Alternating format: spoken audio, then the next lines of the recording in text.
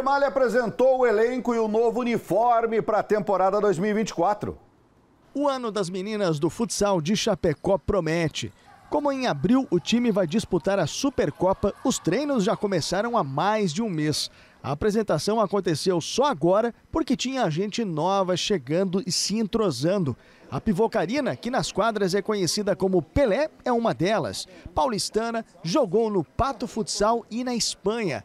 Experiências valiosas para agora defender a Female. Uma experiência para mim muito boa estar aqui na Female, pelo, pela trajetória que o Female já teve, pelas histórias que ele tem, os títulos, os, os jogos. É, para mim é uma felicidade muito grande estar vestindo essa camisa. Já passei por grandes clubes e sou muito feliz de estar aqui. Trago as bagagens que eu já tive da Espanha, de outros clubes.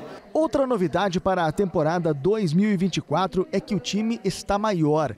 Ao todo, o elenco é composto por 19 atletas, entre elas algumas das categorias de base, como Joana, que subiu do sub-17 e agora está no time adulto. Eu me sinto muito grata pela oportunidade que o Éder me deu, como eu consegui, né, mostrar para ele que eu tenho uma oportunidade de estar no adulto e as mais velhas elas têm muita experiência, várias já saíram, né, jogar fora e eu quero muito aprender com elas.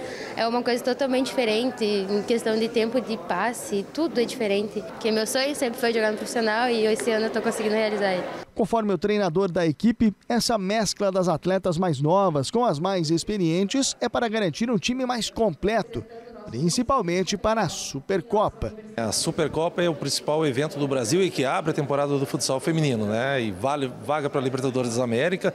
Competição muito difícil, vai estar ali as seis melhores equipes do Brasil.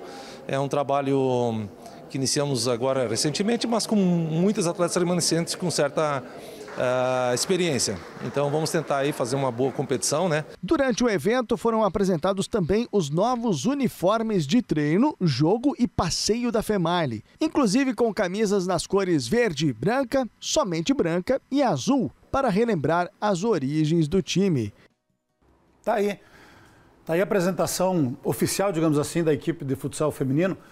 Um grande projeto, projeto vencedor, um projeto de longa data projeto vitorioso e que tem o apoio das empresas e a Uno Chapecó, gente. 19 ano que a Uno Chapecó é parceira do futsal feminino de Chapecó e certamente vai ser mais uma temporada vitoriosa que nós estaremos acompanhando por aqui também. Parabéns ao Éder Pupioski e ao futsal. Inclusive, teve já jogos amistosos no final de semana aí com o Pato Branco, já ganhou a primeira partida, jogos amistosos da categoria de base e assim começa com tudo o ano da, da Female Futsal também.